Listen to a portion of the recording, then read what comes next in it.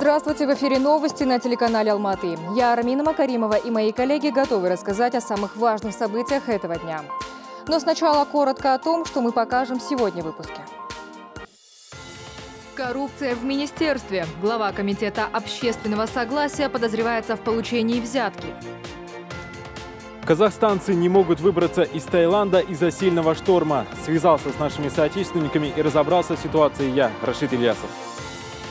Подушевое финансирование школ. Что изменится в жизни учебных заведений после введения новшества? Почему в Алматы сносят развлекательный комплекс, расположенный в центре города, в материале Айбану Анарбаевой? За взятку почти в 2 миллиона тенге задержан глава комитета при Министерстве общественного развития. Именно в такую сумму, как полагает следствие, он оценил свои услуги по покровительству и одобрению дополнительного финансирования для одной из подведомственных организаций. На кадрах оперативной съемки момент задержания главы комитета. Сотрудники пересчитывают купюры номиналом 5 и 10 тысяч тенге. Это, кстати, не единственный ролик, распространенный сегодня антикоррупционерами. Задержали с поличным. В очередном разоблачении внушительной выглядит не сумма взятки, а должность пойманного – глава Комитета общественного согласия. В преступном деле ему помогал подчиненный. Имена обоих пока не разглашаются в интересах следствия председатель Комитета общественного согласия Министерства общественного развития Республики Казахстан, который при пособничестве руководителя управления экономики и финансов комитета получил взятку в сумме 1,9 миллионов тенге за общее покровительство и дополнительное финансирование подведомственной организации. Председатель комитета дал признательные показания. Судом в отношении подозреваемого санкционирована мера пресечения в виде домашнего ареста проводится досудебное расследование. Еще один ролик касается недавнего задержания четверых сотрудников Управления спецохраны. Антикоррупционеры обнародовали момент их задержания. Полицейских подозревают в получении взятки в 25 тысяч долларов. Деньги, вероятно, они брали от своих же подчиненных за продвижение по службе. Судом начальник управления, командир батальона и его заместители заключены под стражу. Проводится необходимое следственное действие. Канун Нового года запомнился сотрудникам антикоррупционного ведомства и задержанием в Туркестанской области. Специалист госдоходов увлечен ими во взятке в миллион тенге. Получил взятку в сумме 1 миллиона тенге от участника внешнеэкономической деятельности за беспрепятственную камеральную таможенную проверку и общее покровительство в его предпринимательской деятельности. Досудебное расследование продолжается. В целом же по итогам прошлого года с госслужбы уволены 135 человек. К дисциплинарной ответственности привлечены свыше тысячи. Причем количество коррупционных преступлений удалось снизить на 6% по сравнению с 2017. Алтыншаш Самоголова, Нуржан Садирбай, телеканал «Алматы». Без новогодних презентов обошлись госслужащие Алматы. Специальная мониторинговая группа убедилась, чиновники в праздничные дни подарков не принимали, а еще не перерабатывали. Комиссия посетила более 40 госорганизаций города. Так вот, повсеместно компьютеры автоматически отключались в 18.30. Капитан полиции пойман в Карагандинской области. Его подозревают в незаконном отстреле трех десятков сайгаков. На экране вы видите фото задержанного и богатую добычу браконьеров. На их след вышли инспекторы природоохраны. При патрулировании территории близ поселка Жанбуйбек они обнаружили два брошенных внедорожника. Машины имели серьезные механические повреждения. Инспекторы направились по свежим следам авто и обнаружили в степи 18 брошенных туш отстрелянных сайгаков. Разыскать одного из браконьеров полицейского помог участковый инспектор Шубаркульского сельского округа. В сараю капитана Маргулана Бралинова обнаружили еще 12 туш сайги.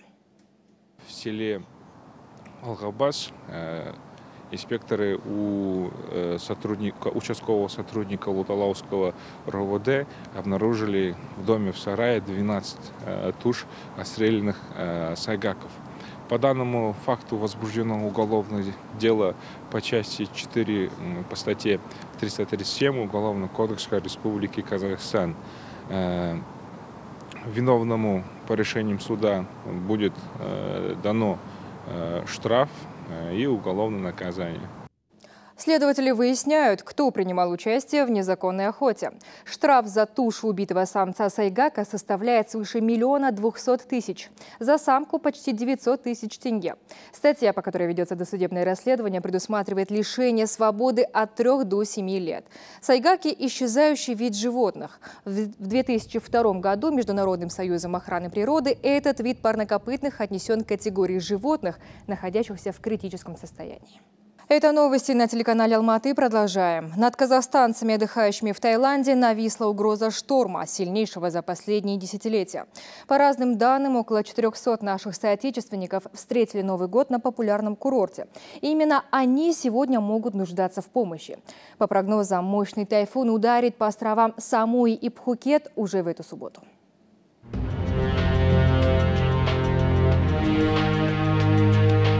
Это кадры 2014 года. Тогда страшный шторм унес жизни 100 человек в Таиланде. Тайфун Пабук, который приближается к южным берегам страны сегодня, сильнейший за последние 50 лет, предупреждают синоптики.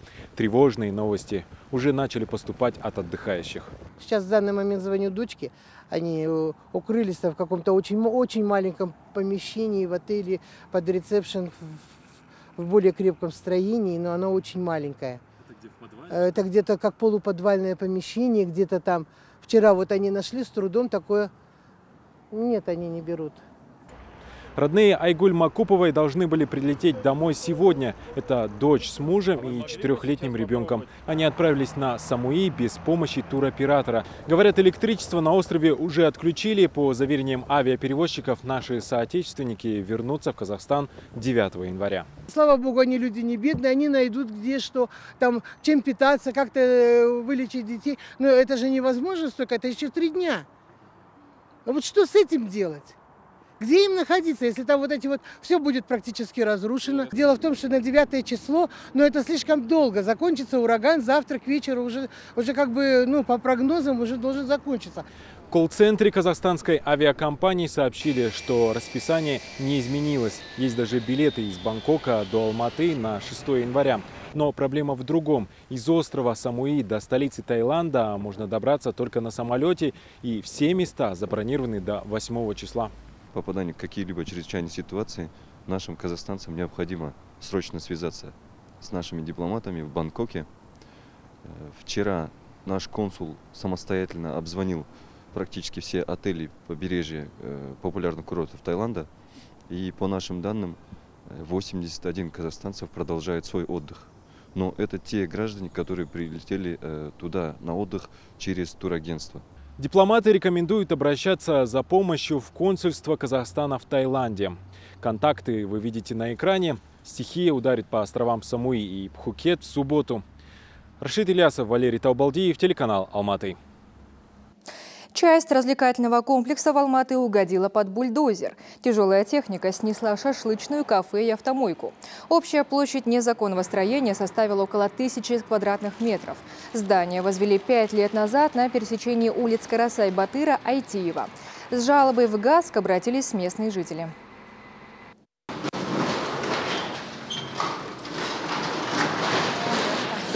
Нами инициировано заявление о сносе данного объекта. Однако э, в первой инстанции, то есть в Алмалинском суде, нам отказали. Э, данным решением мы не были согласны. В последующем мы э, подали апелляционную жалобу на решение суда. Постановлением от 28 мая 2018 года наши исковые требования были удовлетворены. Неоднократно владелец этой постройки э, был извещен о том, что он может сам это все разобрать и э, значит, снести незаконную постройку. Но он не среагировал, поэтому сегодня, 4 января, по графику совместно с, со всеми структурами и службами мы сегодня вот сделали принудительный снос в прошлом году в Алматы принудительно снесли 21 незаконный объект. Новые компьютеры, лаборатории, усиление пожарной безопасности. Первые дивиденды от внедрения подушевого финансирования школ назвали эксперты. В Астане проект запустили еще в прошлом году в пилотном режиме. Детальнее о новшестве разузнал Ильзат Акчурин. Мой коллега в столице записал мнение заместителя руководителя управления образования Астаны Дулата Жикибаева. Мы, насколько знаем, в Астане действует подушевое финансирование школ. Скажите, пожалуйста, какие есть первые результаты и с каким э, школам уже выделены средства и в каком объеме? В рамках эксперимента 2017 года данная работа начата в пяти школах. Э, и вот с 1 сентября 2018 года э, уже по городу 80 наших государственных общеобразовательных школ по данной программе идет. И э, что плюс характерно, что с этого года данная методика, именно размещение государственного образовательного заказа в рамках подушевого, дал возможность разместить государственный образовательный заказ в частные школы. У нас на сегодняшний день уже 8 частных школ, которые работают по, в рамках подушевого финансирования, финансируются за счет бюджета. Раньше этого никогда не было, школы не финансировались. Э, э, какие первые результаты? Можно сказать, первые результаты это за буквально за короткий срок, за 4 месяца нам пришлось, нам, нам э, получилось на укрепление материально-технической базы э, направить более э, полмиллиарда тенге. Э, например, это мы закупили более 500 компьютеров на сумму 100 миллионов тенге, 15 м лабораторий, 15 тысяч шкафчиков, Wi-Fi точек 548, турникеты, противожарные сигнализации и так далее, и так далее. То есть полмиллиарда тенге за 4 месяца нам удалось именно направить на укрепление материально-технической базы. А скажите, вот что из себя представляет подушевое финансирование и для чего это вообще необходимо? Э, значит, э, подушевое финансирование отличается от государственного. Э, а, раньше было, направлялись деньги именно на объекты образования, на школы, а сейчас на каждого ребенка идет. То есть деньги идут за ребенком. Второй плюс – это то, что, о чем я говорил, мы смогли разместить госзаказ частные школы. Э, никому не секрет, мы все знаем о том, что в городе Астане э, существует дефицит ученических мест. Значит, дефицит ученических мест можно за счет в рамках подушевого финансирования решить э, путем размещения госзаказа в частные школы. Например, вот детские сады. Если детские сады на сегодняшний день государственных 95, а частных более 200, то есть два раза больше. Тем более деньги на Э, строительство детского сада выделяется, а вот на эту сумму можно в разы 7, 8, даже иногда 10 раз больше э, дает возможность разместить в э, частных садах. Точно так же частная сеть даст возможность развитию сети частных школ. Э, ну, школ много, а есть какой-то критерий отбора, и кто выделяет эти деньги? Э, эти деньги выделяются больше, более 90% это за счет местного бюджета, э, плюс еще нам трансферты с республиканского бюджета, например, в 2018 году 2,3 миллиарда было за счет республики, а на 2019 год уже за счет республики нам выделяется 7,9 миллиардов, почти 8 миллиардов тенге. Критерий отбора объявляем, управление образования объявляет конкурс, есть критерии отбора, понятно, это в первую очередь э, должны соответствовать всем требованиям нормативным правовым актам, то есть у школы должна быть образовательная лицензия, лицензия на образовательную деятельность. Но все прекрасно знают, чтобы получить э, лицензию на образовательную деятельность, должна быть педагогические кадры, это должны быть соответствующие учебники, это должны школа, здания отвечать всем санитарным правилам и нормам, СНИПам, заключение должно быть департамента ЧС, должна быть медицинская лицензия и так далее. Есть перечень требований, которые отвечают этим требованиям, мы размещаем госзаказ. И самое главное, должно быть э, спрос, именно спрос размещения госзаказа. Дулат спасибо за интересное интервью. Население Казахстана перевалило за 18,5 миллионов человек. Нас стало больше на полтора процента или почти 300 тысяч. В общем, в стране сейчас проживает 18 миллионов 610 тысяч людей. Из регионов самая высокая численность в Алматинской области – больше 2 миллионов. Прирост здесь небольшой, всего 1%. В минимальный плюс вышла еще одна многонаселенная область – Туркестанская, немного не дотянув до отметки в 2 миллиона. Зато заметно больше стало жителей Мангистауской области на 2,5%. В Атырауской показатель тоже подрос рос на 2%. А где местных становится меньше, так это Восточно-Казахстанской, Северо-Казахстанской и Кустанайской областях. Хотя эти регионы покидают не так часто, в процентах показатели почти нулевые, не дотягивают даже до единицы. Среди крупных городов продолжает лидировать Алматы.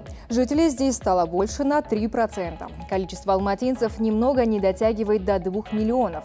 Жителей столицы теперь больше на 4%. Самый же внушительный рост показал Шимкент. И за счет рождаемости, и за счет миграции шимкенцев стало больше на 6%. Такие данные приводит Комитет по статистике Министерства нацэкономики. И к другим темам. Как увеличить численность туристов, знают архитекторы и алматинские чиновники. Локомотивом отрасли станут новые этнокультурные объекты. Их построят в разных частях города. Проекты готовы и подробнее о них расскажет Айбану Анарбаева. Вот сам курган, вот этот лабиринт, который будет, он очень много людей привлекет, туристов, как вы мечтаете. Именно сюда будут приходить и все загадывать свои желания. Так в будущем будет выглядеть музей под открытым небом вокруг настоящего сакского кургана. Его построят на пересечении улиц Розыбакиева и Штрауса. Там с чудом сохранился один курган в центре, ну, высотой примерно ну, двухэтажный дом. И так. И, ну, его жители, это вокруг которых жили частные дома, им камень нужен, фундаменты ложить. Вот ступеньки перед сараем там делать. Они все камни, которым был облицован снаружи, там цоколь, все, растащили по домам. Еще подкапывались под курган со всех сторон. Понимаете, вот такая ситуация. Историческое наследие восстанавливается по сохранившимся аналогам на территории Казахстана, Кореи, Ирландии и России. Над курганом высотой 50 метров возвысится скульптура «Голова Ширака» цахского героя, казненного Кером. В подземной части расположатся выставочные залы. Рядом решили ничего не трогать.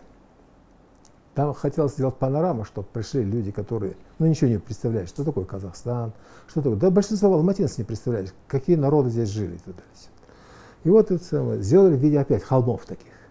Травой, стеклянные колпаки, которые дают свет внутрь.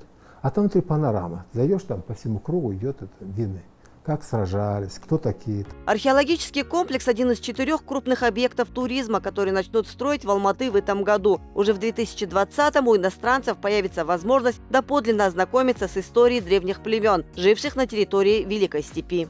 На территории Казахфильма 5 гектаров мы определили из 17 гектаров строительства этнокультурного комплекса «Этноленд».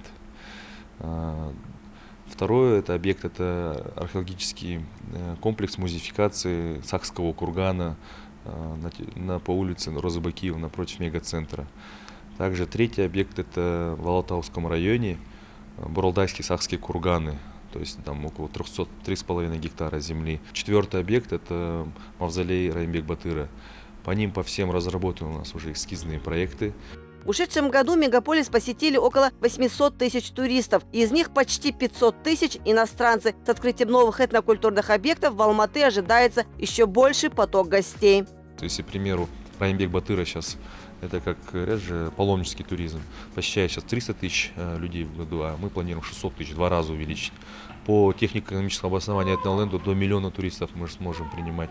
Это, это именно проектная мощность. Но в целом это вызовет в целом большой приток туристов, именно вот эти объекты. Уже мы можем какие-то турпродукты создавать, привлекать именно туристов.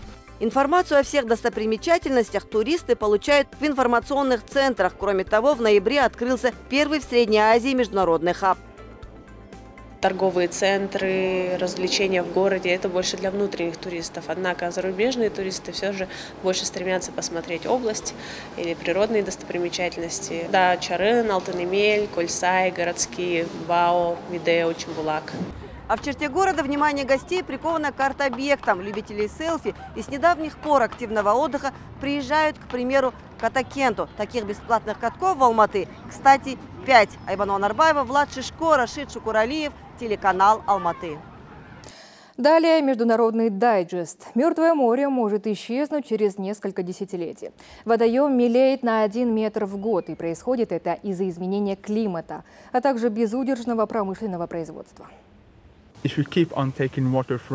Если мы будем продолжать брать воду у природы, например, из Галилейского моря или Ефрата, мы в итоге разрушим местную окружающую среду. Мы стоим в месте, где можем выучить первый урок о том, что нельзя использовать столько воды, сколько хочется. Нам нужно заботиться о природе, в противном случае сделаем себе только хуже.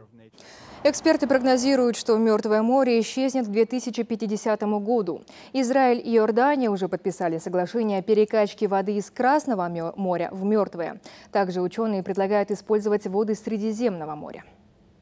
Возьмите воду в Средиземноморье, создайте возобновляемую энергию в пустыне и установите взаимозависимые отношения между израильтянами, палестинцами и иорданцами.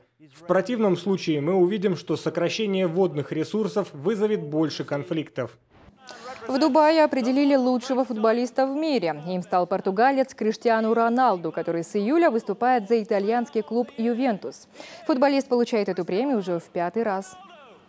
Uh, Этот год был трудным. Я выиграл много трофеев, в том числе и награду Лиги чемпионов. Это было невероятно. Поэтому я очень рад получить еще один приз. Перед началом 2019 года я уже говорил, что мечтаю выиграть еще много почетных наград для Ювентуса. Звание лучшего клуба 2018 года получил испанский Атлетико Мадрид, а лучшим тренером признали Дидье Дешама. Он привел сборную Франции к победе на чемпионате, на чемпионате мира в России. Я очень горжусь этой наградой и хочу поблагодарить всех своих игроков, потому что без игроков тренер ничто. Я хочу поблагодарить всех коллег, которые помогали мне каждый день во время соревнований. И еще хочу сказать, что мои жена и сын сегодня тоже здесь. Я люблю вас. А в Лондоне начали перепись в зоопарке. Это делается для того, чтобы проследить за числом исчезающих видов животных. Информацию затем отправят в другие зоопарки мира. Причем ежегодный подсчет зверей – обязательное требование Великобритании. Здесь много разных видов, и в каждом много особей с индивидуальными чертами характера. То есть нам нужно удостовериться, что мы никого не пропустили и никого не посчитали дважды, а это довольно сложно. Для подсчета используют различные методы, например, электронные сканеры, которые считывают данные с чипов. Также подсчет ведут по ошейникам и биркам. С пингвинами еще проще. У, каждой свой, у каждого свой уникальный окрас, описанный в документации. В прошлом году мы насчитали 19 289 животных. В этом году пока данных нет. Невозможно сказать точно до тех пор, пока не завершится подсчет. И в завершение о погоде на предстоящие длинные выходные. Напомню, 7 января празднуется Рождество Христово, потому казахстанцы в понедельник отдыхают. Что прогнозируют синоптики на это время, узнаем прямо сейчас. Даулет Кисибаев, наш постоянный эксперт из Казгидромета, присоединяется к эфиру. Добрый вечер, Даулет. Добрый вечер. В ближайшие выходные в городе временами снег, туман, гололед – Температура в ночные часы составит 3-8 градусов мороза, в днем около 0 градусов. В горных районах также временами снег, туман, гололед. А температура в горных районах на 5-10 градусов ниже, чем в городе. Лишь в воскресенье можно сходить и прогуляться в горы. Отлично. А что прогнозируете на 7 января? Какая погода ждет алматинцев на Рождество? В ближайшую неделю погода преимущественно без осадков. Лишь 9 января временами снег, туман, гололед. А в понедельник, 7 января, без осадков, погода ясная. Температура на всю неделю ночью 3-8 градусов мороза, днем около 0 градусов. Благодарю за подробный прогноз. Напомню, это был синоптик Казгидромета Даулет Кисибаев. Такими событиями запомнился сегодняшний день, а я с вами прощаюсь. Всего доброго и хороших выходных.